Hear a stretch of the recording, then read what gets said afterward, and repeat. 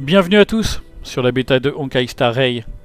Aujourd'hui nous allons faire un nouveau focus sur le système de gacha et également sur la boutique en jeu. Je vous propose de commencer directement par la boutique car c'est par elle qu'on obtiendra certains composants pour justement pouvoir faire nos vœux. Nous commençons donc par le premier onglet de la boutique. Comme vous remarquez, c'est assez semblable à Genshin Impact. Il y a plusieurs menus, il y en a quatre, et il y a plusieurs monnaies également. La première monnaie, donc de ce premier onglet de boutique, c'est les Undying Starlight. Donc c'est une monnaie qui en fait correspond au doublon. Dès que vous avez un doublon d'armes, un doublon de personnage, bah, vous obtenez cette monnaie. La seule particularité, c'est que j'ai remarqué à l'heure actuelle qu'apparemment on obtient un point de cette monnaie par doublon. Parce oui, j'ai eu 6 doublons aujourd'hui de mes persos. Donc ça fait un petit peu léger, je trouve. Comparé à Genshin où on est plutôt à 2 dès que c'est un 4 étoiles et plus quand c'est un 5 étoiles, ça semble un peu léger. Surtout que bah, les vœux coûtent plus cher. Les vœux sont représentés donc par ces deux euh, premiers tickets là, qui ressemblent à des tickets de, train, normal, hein. on voyage dans un train de l'espace. Donc le premier ticket, c'est le Star Rail Pass. C'est donc euh, les vœux permanents. Donc les vœux de la boutique permanente, enfin pardon, les vœux de la bannière permanente, mais également les vœux débutants. C'était la même monnaie. Le deuxième, c'est les Star Ray Special Pass. Donc les vœux spéciaux, c'est-à-dire les vœux des events, les vœux euh, des bannières temporaires. Ensuite, avec ces monnaies, on peut acheter donc des doublons de personnages ou des, des personnages si on ne les a pas encore débloqués. Donc là, vous voyez, il y en a deux en avant. 70 points, donc encore plus haut que Genshin, là aussi. Et on peut acheter aussi des armes, comme vous voyez là. Donc tout ça c'est des armes, c'est représenté donc par une petite image qui représente le personnage, donc on voit vraiment que c'est l'arme signature du perso. Là on peut pas trop se tromper dans le jeu. Théoriquement je pense qu'on peut équiper une arme d'un autre, ça doit pas gêner euh, non plus, mais euh, c'est quand même des armes signature. Deuxième onglet, là on a une autre monnaie. Alors tout à l'heure c'était un peu l'équivalent des astéries.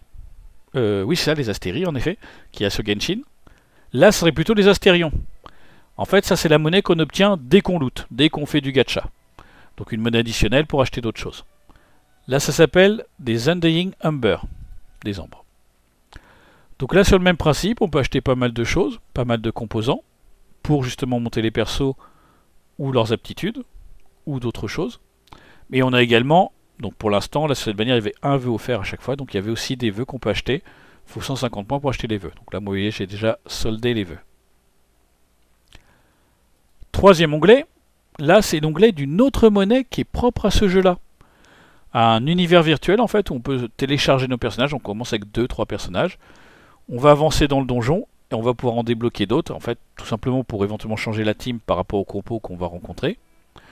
Et donc c'est un petit event euh, qu'il y a, un contenu en plus qu'il y a, qu'on pourra faire après en mode apparemment plus dur. Je n'y suis pas encore. Et donc il a sa propre monnaie. Donc sa monnaie, c'est donc les Erta Bond. Parce que l'univers virtuel est une création d'Erta, le personnage Erta. Donc là encore, pareil, on retrouve des composants, pas mal de choses. Encore un vœu qu'on peut acheter, et deux autres personnages. Et la dernière, la plus classique, celle que vous connaissez tous dans Genshin, si vous passez par là, à moins que vous passiez directement par le menu des vœux, c'est la conversion euh, des gemmes, des primo-gemmes. Ici, ça s'appelle des stellar jade. Donc c'est la conversion de ces gemmes avec le même coût, donc 160, pour s'acheter soit un vœu permanent, soit un vœu d'un événement. Donc vous voyez, on est vraiment sur quelque chose de très très proche à Genshin Impact. On va passer donc au contenu le plus important. Les vœux. Donc ça s'appelle des warp. Enfin, ça s'appelle le warp ici. Il y a plusieurs bannières également. Alors, la première bannière, c'est très simple. C'est la bannière permanente, c'est celle-ci. Oui, elle est dans le bal du listing à l'heure actuelle, mais c'est celle-ci, la permanente. Donc sur le principe de la permanente, comme vous le voyez euh, là où passe ma souris en ce moment, on obtient un 4 étoiles garanti tous les 10 vœux. Bah, c'est simple, c'est comme Genshin. Alors ça peut être un perso, ça peut être une arme. C'est un 4 étoiles ou plus, ça peut être un 5 étoiles qui peut tomber. Mais on ne sait pas à l'heure actuelle, même quand on va dans le détail, si justement il y a une pity ou quand arrive le 5 étoiles. On sait qu'il peut y en avoir, mais on ne sait pas quand. Donc vous voyez, on peut récupérer donc des armes, 4, 5 étoiles, des personnages, et des personnages 5 étoiles. Là, c'est tout ce qui est 5 étoiles. C'est écrit ici, les 5 étoiles. Dans cette bannière-là, donc, il y a quelques personnages qui sont mis en avant. Donc, euh, enfin, mis en avant. Qui sont les personnages, en fait, de base du jeu. Imeko, Welt, Bronia, Gepard et Clara. Donc, les 5 étoiles de base du jeu. L'équivalent de Keking, Diluc, Mona, Jean et Kiki. D'ailleurs, c'est marrant, on a encore un enfant avec Clara, alors qu'on avait Kiki dans Genshin. Il y a un petit côté euh, ressemblance. Ensuite, donc, on a tous les 4 étoiles du jeu qu'il y a à l'heure actuelle. Pour les armes, c'est le même principe, les armes signature des 5 étoiles et les armes signature des 4 étoiles. En plus de cette bannière permanente, il y a également une bannière débutante au début du jeu, qui vous permet en effet de faire 50 vœux sur cette dernière et d'avoir quoi qu'il arrive un 5 étoiles garanti. Nous sommes sur la bêta. Tout ce que je vous présente aujourd'hui est bien sûr susceptible d'évoluer. Donc on ne sait pas si cette bannière sera encore là, s'il faudra toujours 50 vœux possibles sur cette dernière, s'il y aura toujours un 5 étoiles garanti, on ne sait pas. Moi je trouve l'idée originale, je trouve c'est un bon système pour éviter la rirolite. Tout simplement, les gens ainsi savent qu'ils auront au moins 5 étoiles.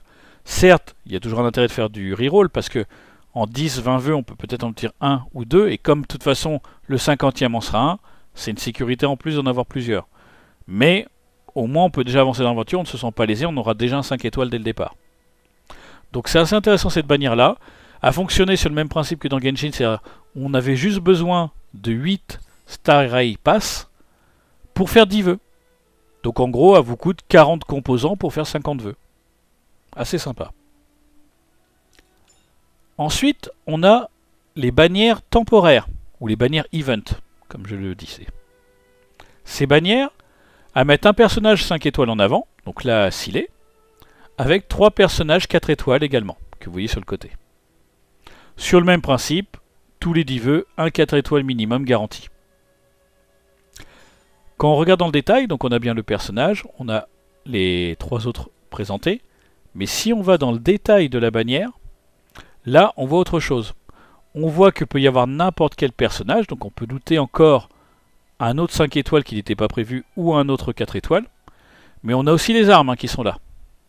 Donc oui, on peut se retrouver avec des armes 4 étoiles qui n'étaient pas prévues à la place du personnage. Et bien sûr, bah, les armes 3 étoiles complètent, on va dire, les, les choses intermédiaires. On avait donc une seconde bannière sur cette bêta actuelle, avec Jing Yuan, en personnage euh, mis en avant, avec ses trois personnages qui l'accompagnent. Cette bannière fonctionne avec les vœux spéciaux, les Star Ray Special Pass, qu'on a vu tout à l'heure. Donc on est vraiment sur le principe du Genshin Impact à l'heure actuelle, c'est-à-dire deux bannières semble-t-il en même temps. Alors est-ce propre pareil encore à la bêta ou pas? Ça nous le verrons à la sortie. Et en plus de ça, donc il y a des bannières d'armes. Donc on retrouve les mêmes personnages que sur la bannière principale euh, de l'event, mais là c'est pour les armes. Oui, je clique dessus, l'arme de Silet, et l'arme des trois personnages qui l'accompagnaient. Quand on va dans le détail, on voit qu'on peut looter également des personnages sur cette bannière, en plus des autres armes 4 étoiles, et bien sûr des trois qui seront les, les, vœux inintéressants des bannières. Même principe pour l'autre personnage. Donc là, on a aussi la particularité qu'il y a deux bannières armes. Donc c'est assez, assez particulier, je pense assez pratique, parce que ça permet de focus plus facilement l'arme du perso qu'on désire. Ça évite d'avoir une chance sur deux, c'est même mieux d'avoir divisé, je trouve. Donc très bonne idée pour moi euh, de la part de Oyoverse. Voilà ce qu'il en est donc pour le système de gacha et de la boutique dans le jeu.